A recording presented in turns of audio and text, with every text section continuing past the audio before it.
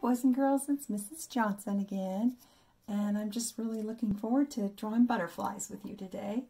Um, I hope you guys are starting the school year right and enjoying it. I know it's a big change and kind of disappointing that you're not back in school to see your friends. There's one advantage. We're all going to really love school after this and really appreciate it. Okay, so I really recommend that you just get a school pencil. You know, that'd be great for this drawing. Later on, you'll probably want some Sharpies in different widths.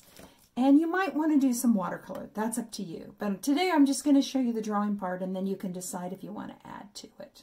So here's a pretty cool butterfly. The hard thing about drawing butterflies is keeping them symmetrical, keeping the right side the same as the left side and vice versa.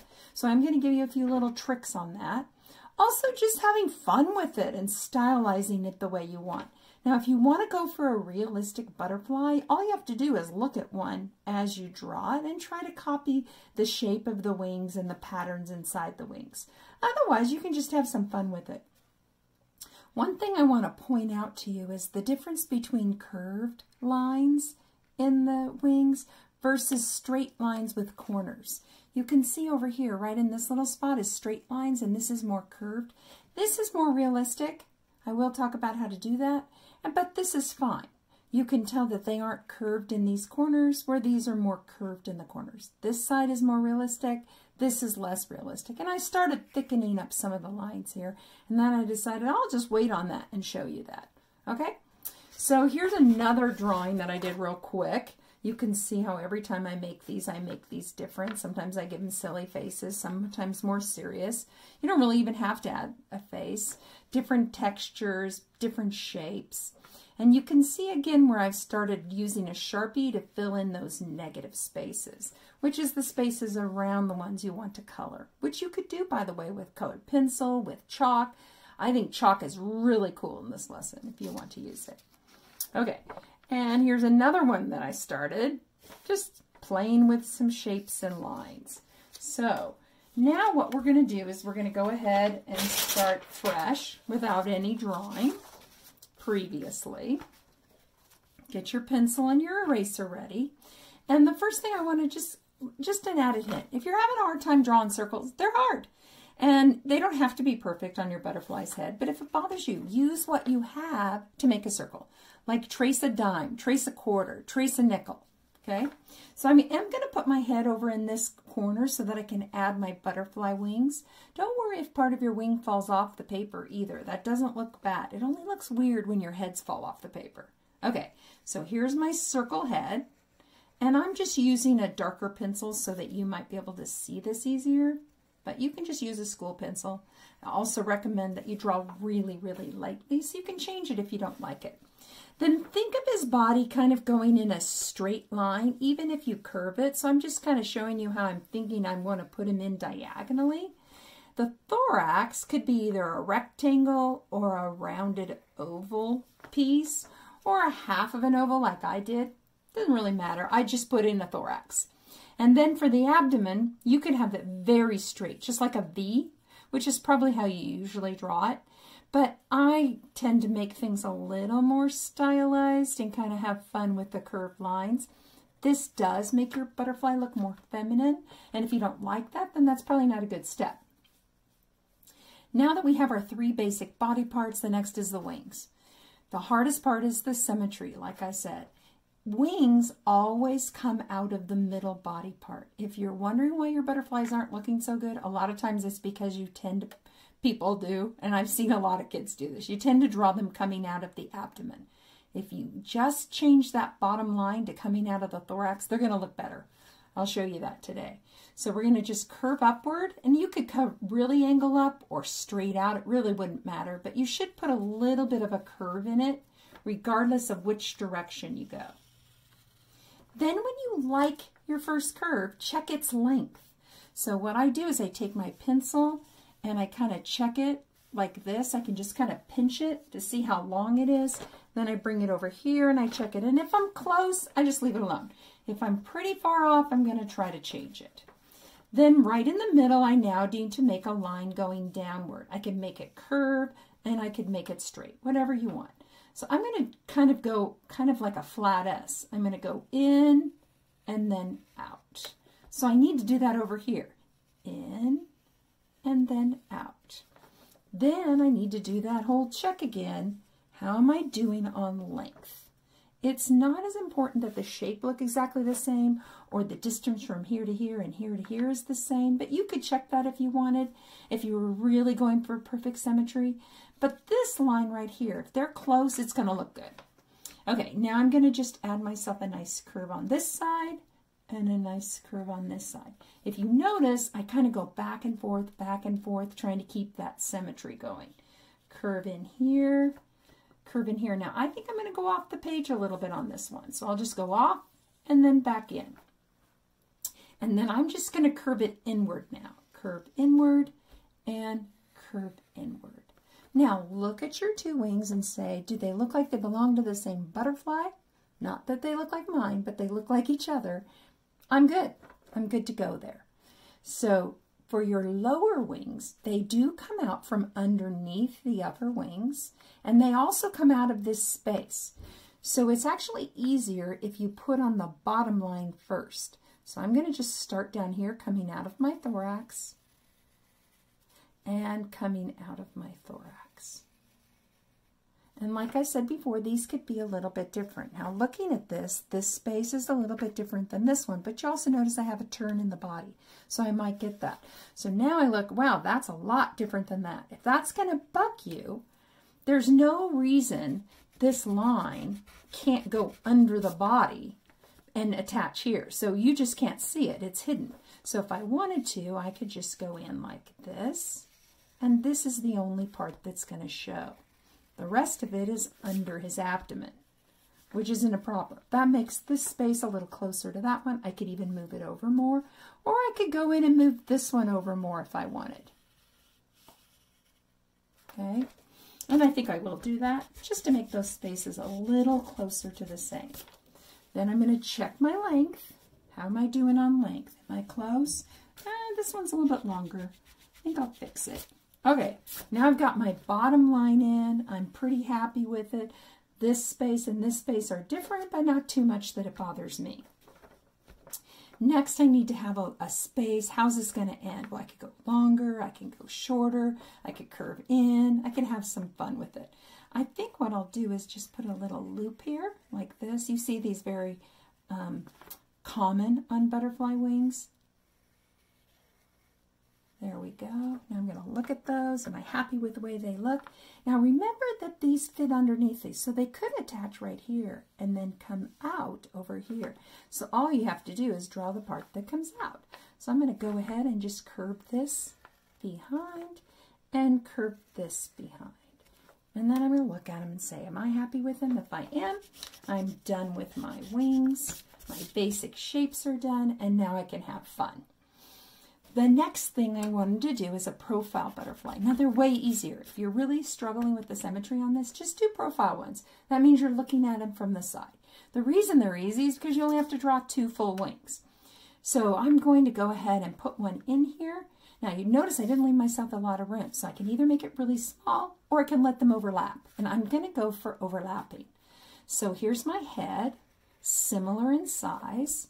Here's my thorax, similar in size. And I'm just going to make the abdomen just curve a little bit backwards, kind of like he's on his side a little bit more. So similar, but not the same. You can just see they're just a little bit different. Not a problem. Okay, so when I put this wing in, it's going to actually go behind this one. So I'm going to go up, pretend it's running through it, and come out again. Now, because I don't have to worry about this symmetry thing, I can just have fun designing this wing. I'm going to make this one just slightly different. And I'm going to come out here, and I'm actually going to make this one a little bit longer. You can see this is similar but different. You could make any shape you want. An oval's fine. Then I am going to just do something way different down here. So I'm going to come down here. They don't have to be the same butterfly, right? This is your design.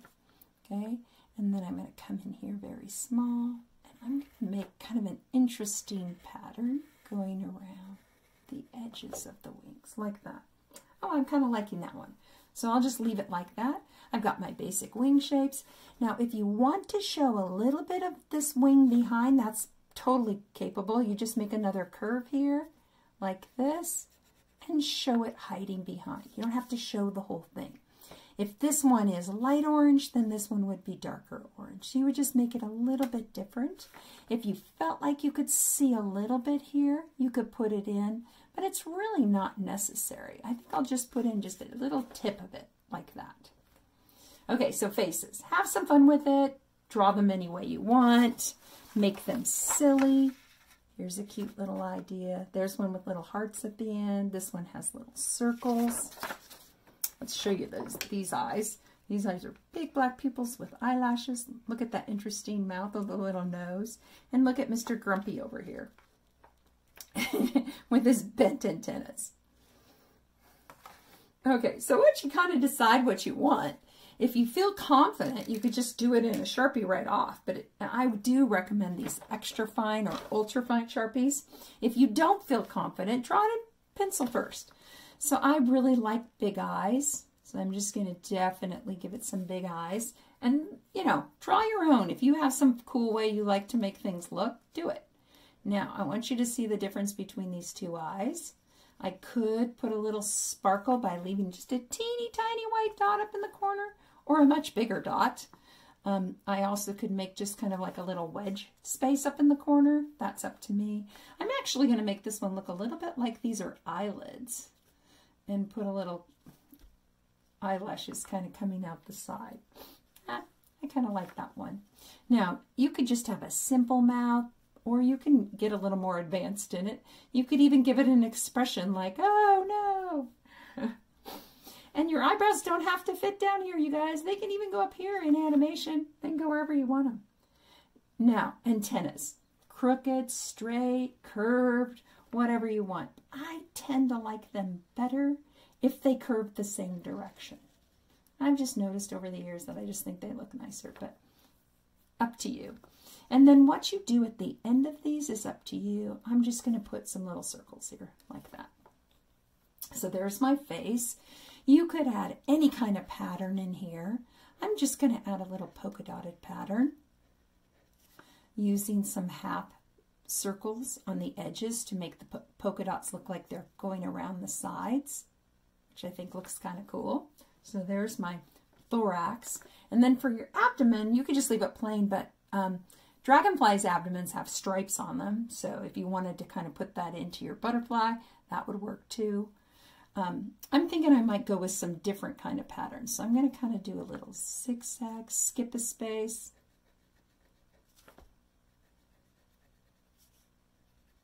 It's kind of fun too because this could help me break up the colors. Okay, and um, just because I don't want to leave this guy out, I'm going to go ahead and give him kind of a sad face. Maybe a little grumpy too, with a little downturn eyebrow.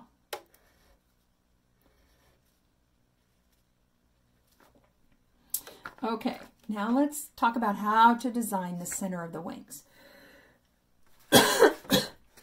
Remember that they kind of resemble leaf shapes that have these little veins running through them. Capturing a little bit of that leaf shape actually will make it look more like a butterfly if you put a little bit of that leaf kind of veining branch work in them. You can see that in this one too. Although these shapes aren't really in butterfly wings, by adding these little um, branch shapes, it helps it look more realistic and still stylized. Okay, so here's the deal. When you're designing your wings, think symmetry, symmetry, symmetry. But don't make these two really cool wings on this side just the way you want it, and then try to do that. Go back and forth, back and forth, back and forth, and you will have a better look. So if I make a straight line like this, then I want to make a straight line on this one. And I want to just kind of look at the lines as I'm doing them and make sure that I like the way they look. Okay, now I'm going to go ahead and put a circle up in this corner with the circle inside. And over here, I'm going to put a circle in this corner with a circle inside, always looking similar in symmetry. Then I'm going to go ahead and make a big circle with two more, getting smaller on each side, and a big circle with two more getting spots. Now, most butterflies, especially monarch butterflies, they have little spots all along the edges of their wings. So I always like to put in at least a few little spots because I think it looks more like a butterfly. Not that I put them in the same place. Okay, remember how it's I said it kind of is like branches? So I'm going to go ahead and split this space here. And you'll notice that I'm not perfect in my symmetry. It's just pretty close. Okay? Then I'm going to go ahead and split this distance and come down to this space. So I'm going to do this again. And I'm going to do this again. Then I'm going to look, am I close, am I close? Angle out, angle out, like branches splitting. Angle out, angle. Hmm, kind of liking these so far. I've got this big space in here. I think what I'll do is I'll split it. So I'll just kind of go one and two.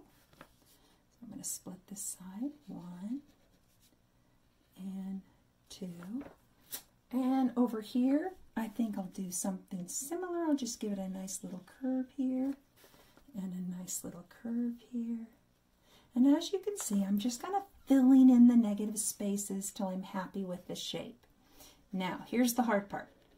Try to stop before you think it's perfect, and I'll tell you why. The more creative you are as an artist, the more you will tend to over create. What that means is like, well, if it's got that one, maybe I should add another one and another one and another one, and then pretty soon you've made a mess of your picture because you've just added too much. So I always say, hey, when you sort of like it, you're pretty sure you're happy with it. Stop, stop, stop, stop, stop, stop. You can always come back and add more. It's harder to take designs away than to put more in. Even when you go to color it or watercolor it or chalk it, you could always add more designs. So like when I come in and I say, well, I really wish I had another shape in there, I'll put one in. But right now I want to stay not too busy until I've decided that. Okay, that's my word of caution for you. Here I'm just going to start with a nice big oval shape. And so this goes up into here. Okay, now I got to figure it out from here. Now, because I'm using a marker, I can't erase. So hopefully I don't make a mistake that I'm not happy with. And if I do, I'm stuck with it. Okay? It's just the way it is. Okay, I'm happy with that. Now I'm going to go ahead and instead of making a circle here, I'm just going to make a tear. I kind of like that shape. I think that's pretty.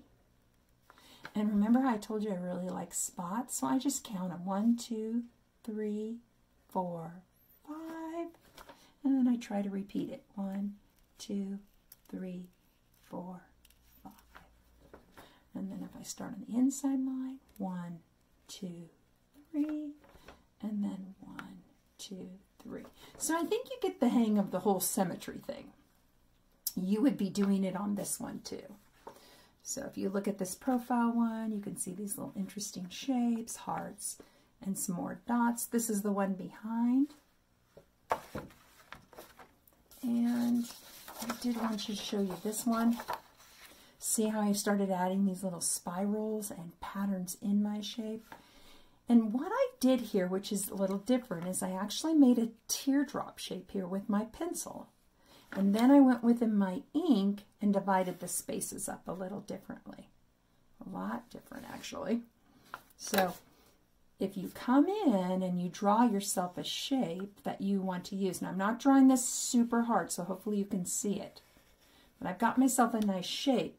When I go to ink it, you're going to see this. So when I went to ink it, I actually divided this up into little spaces. But they actually line up with each other evenly because I had that pencil line to follow along.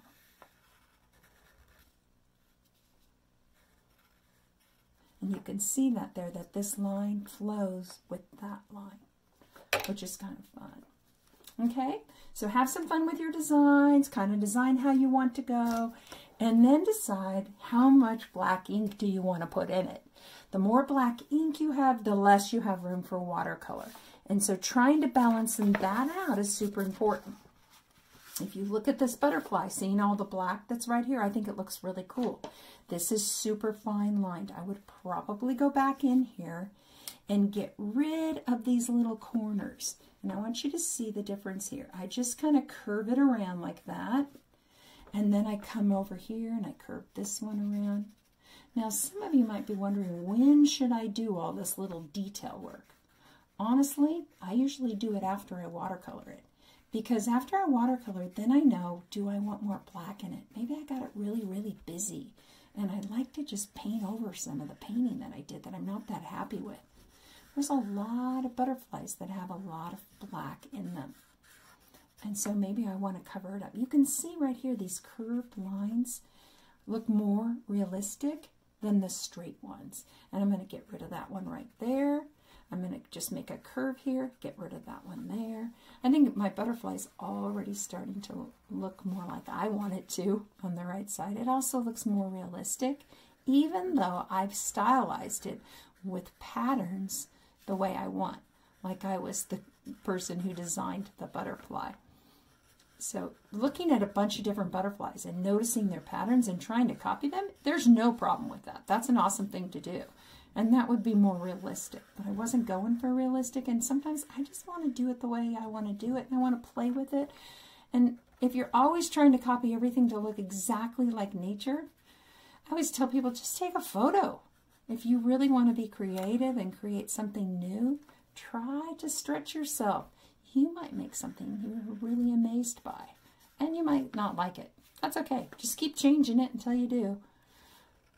I, I'll tell you right now, you will never be a great artist if you don't take risks. If, if you like everything you do all the time, you're not taking any risks because you're just copying other people's stuff. You got to take some risks. You got to make some really ugly paintings and go, oh my gosh, that was crazy. That was not a good step. You learn from your mistakes in art just like you learn from your mistakes in everything we do. And it's good to make them and it's good to let them go. So I'm really liking more black.